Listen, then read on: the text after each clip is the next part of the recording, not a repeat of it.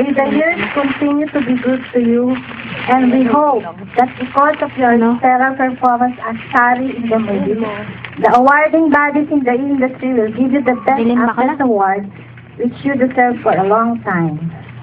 Congratulations, Bea. And so without further ado from all of us, it's a great honor and pride to present to you J.D. Sari in the movie, Miss Bea Alonso. Or Federico Sari. Joke lang. Si Tita, si Tita Maya, sobrang naman yung pangarap. Ano, worldwide box office daw. Parang hirap naman yun, Tita. Totoo yun. Happy anniversary sa mara karamihan sa inyo na naging um, naging parte rin ng love team namin ni John Lloyd at parte ng karera ko. So, um, thank you, thank you for being here tonight and please enjoy the film. Again. Pasensya na kayo, hindi siya makakapag-stay ng matagal. Meron pa siyang... kabisado ko na lahat. Sige, atid mo lang ito bigas.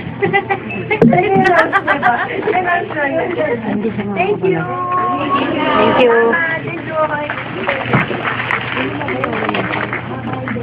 Oh, at least